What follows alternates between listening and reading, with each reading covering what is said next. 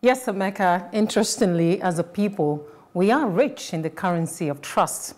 I'll tell you more as I speak on the state of trust in Nigeria. Well, John C. Maxwell, my coach, globally acclaimed author, motivational speaker, and a trainer of, lead, trainer of leaders, said, and I quote, relationships are built on the solid ground of trust. I'll say trust is not a bittery, it's an intentional foundation for all relationships. The Edelman Trust Barometer is an annual global trust and credibility online survey conducted by Edelman Intelligence to test how well people trust the institutions of government, business, media, and non-governmental organizations to do what is right. Now, with 2 million respondents and over 400 companies on the survey, I think it's some survey worth paying attention to. And here is why. The theme for the Global 2020 Edelman Trust Barometer Survey Report is competence and ethics. In terms of percent of predictable variance, 76% of respondents in Nigeria valued ethics above competence. It made me wonder, are Nigerians rooting for an ethical revolution as a younger Wole Soyinka sang decades back? I know if you remember the song, Etika Revolution, Etika Revolution. Now that report takes a critical look at the state of trust in Nigeria. The general picture from that report shows that Nigerians are very trusting people. Uh, businesses scored highest with 91%, followed by NGOs at 87%, the media at 84%, while the institution of government is the lowest. Only 55% of Nigerians trust the government. It is still above the global average, though, because South Africa has the lowest level of trust in government in the last six years. Um, that's in Africa. Given the ongoing drama in the fight against corruption in Nigeria, I find this report quite fascinating. And there are three points I'd like to zero in on in the Trust Barometer report. One, that CEOs are the most trusted amongst societal leaders in Nigeria.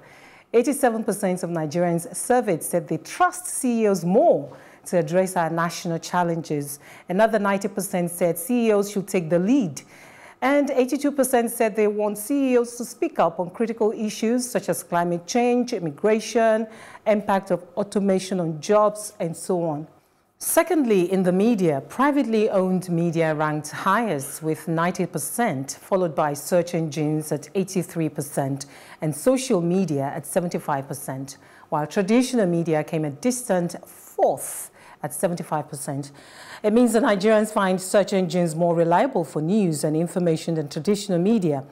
Then 57% respondents, however, say they fear fake news or false information being used as weapons. In other words, weaponization of stories. And then thirdly, while CEOs scored highest in the trust barometer at 87%, journalists came second at a close 86% and religious leaders at uh, third position. And I suppose that Kene and I are in the right profession after all. We are now shining stars. Curiously, though, in spite of the bashings against religious leaders lately, they are at a comfortable third. Across sectors in this report, retail leads with 90, 90%, followed by telecoms with 89%, entertainment with 88%, and food and beverages at 87%. I find that also curious because 86% Nigerian employees want to be heard and be part of planning in their organization. And it reminds me of Barbara Kellerman in our book, Followership, where she talks about leading from below, how those with less power, less authority and influence have their ways of impacting those who have more. So, well, if you have been importing expatriates from abroad, here is the 2020 memo. Your subordinates do have some arrows in their quiver and some workplace, workplace tactics and strategies that may make the difference. So, moving forward, include them in your planning. You know, mm. for me, I'm, I'm really amazed at the very generous marks of trust, the high level. Exactly, exactly. Um, I mean, uh, just why I was laughing. No, no, no. I mean, I, Nigerians are very trusting people. Um, it will take a lot. You know, this is this, there's, there's an innate bias when surveys like this are, do, are done. People very often do not tell you how many how, people they no no how they really feel. Oh, really? And we've seen that in so many in the last election especially in, in Western countries where people tell you what you, the researcher, what they want, believe you, they want you to, to and then they shock you. And, then, and then shock you with the reality. Mm. And I say this because in our general conversations, just us sitting here now, and I do this survey, let me ask Mm. you, and I'll start from you, Treasurer. Do Yeah. you trust, how much do you trust your government? No, I don't. the government no, is no, not no. very the government was 55 50 something, percent. I'm It neutral. No, no, no. 55 So I'm is saying, high, is high. How, how, how, how, you know, so Who are those How much would you rate them? Would you give them up to 55? For me, I wouldn't even Uh, so- give so them. here- with the with the recent um, happenings, you know, in the here country, is- I wouldn't here- even. Herein give them. lies where um, election results are written and people are announced, and that's the basis on which government is built. Is, is democracy is how you get elected leaders, and if that if you've lost trust Hmm. in that, I'm amazed that they're even getting 55 percent. Yeah, yeah, so am I. would- I would say So this. and I'm saying this even for media, when majority of the people reading on the street will say, ah. I don't believe them. So now you're, they're getting 89 percent, or Yeah. it's it's Yeah, but I'm- you I'm see amazed, that is but- but I'm not saying- it's- but I'll take on it. a micro I'll- I'll- level. Traditional media is 75 percent, but Yeah, privately owned. I'll, I'll take it though. I'll, Yes. I'll accept it. and I'm, I'll I'm use it. appreciative that they didn't Yeah. bother to gather and collate those figures. Uh, I mean, the point for me is, is quite, uh, the one point I can take away from that, thank you for that, it was useful, is, is essentially that the private enterprises should do more in terms of governance. Um, and I was looking at, you know, so recently I was talking to a lady who is very uh, intellectual and she's involved in a lot of the economics of the running of the country. And she was saying, she doesn't know why we don't uh, do concessioning more of our infrastructural development. And concession, I thought, I said, oh, it's concessioning like privatization. Instead, no. You give them a, you know, like for example, you give someone a contract to do a road and then they claim it back through toll fees for a period and then you get your road back. So it's a kind of give and take and it's purely business. Because when I look at businessmen who are successful in Nigeria, it's clear we know what to do. We know what to do when mm-hmm. the money is at stake. But when we come to government things, we forget the profit and loss Okay, margin. Is and we start his sharing. head. I- come to I- say- I- I so, so why not just give these businessmen a little rope to No. handle the things that they do, just monitor them and let them deliver. Because governments are not capable of I doing agree. No, but with you. I mean, because- look at the road um, Dangote is, you know, putting together somewhere. um, you know, look at what uh, Tony Elumelu has been able to do with, with, you know, this sort of apprenticeship, sort of, you know, growing new entrepreneurs. And if you compare that with what government has been trying to do with the, what is it Because called somehow now? once it's government No, money, but but Once it's but, government, there's just some sort of. but the uh, truth the truth of the matter is that I, I'm, I'm shocked that I can't wait to people hear Libya. I'm, I'm Yeah, shocked yes, that bring it I'm on. shocked that people actually trust their CEOs of private companies. right. This, this, this country runs Oh, on government. The government is basically what runs this country. So when you see a successful CEO of a private company, he's probably in bed with government. So um, I can't. these guys are so skeptical. Yeah, I can't Or is it divorce. cynical I cannot both? separate the two. So. Um, I don't see how you can trust your CEO when he's hobnobbing with your governor and you have, you have no idea what they're discussing. He's hobnobbing with the minister the next day and they're coming up with all sorts of things.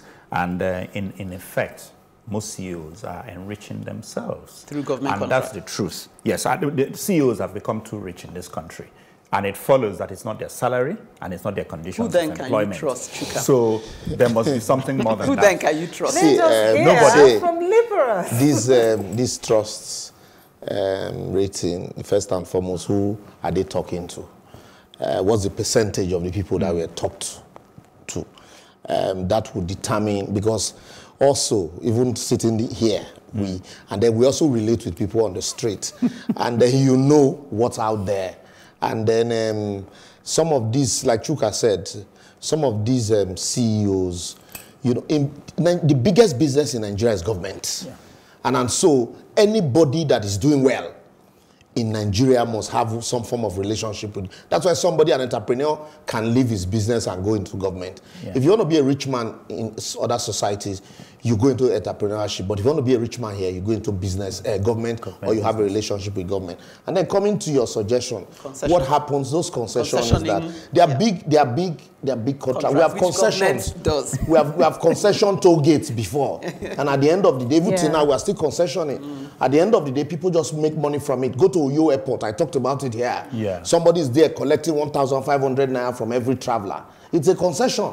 But at the end of the day, what comes out of it? Nothing. So this CEO sits down there, they're looking for government patronage. The moment Emeka goes back into government, his friends, if not seen, since he left government, will be sending congratulatory message to him. I will off my mic now. So Off that, the uh, mic. Ibros. Ibros has killed the faith. There's no trust left. All right, from solutions to analysis and more solutions. After the break, and in a matter of fact tone, Chuka gives us a grim diagnosis. He says Nigeria is on fire. Wow, Chuka. Five panelists, five topical issues, no holds barred. For me, it's not knowledge that's lacking. It's that greed. It's that mentality where you feel you deserve to take your own and take it infinitely and let everybody else just manage however they will manage. We're almost becoming hardwired to try and cheat. I would, you know, suggest that we begin to hold our leaders accountable. There was a time in this country when Yes. things actually work. I don't think that any organization should be above the law. And I think one of the challenges we have in this country is about governance across the board. But what I'm saying is that it doesn't really affect us in Nigeria. That's It, really it does, it does, it does. The I- I don't know what we can do if the system is already corrupted. We've been warned as a continent of the influx of the Chinese. If you don't repay your debt, they will just colonize you.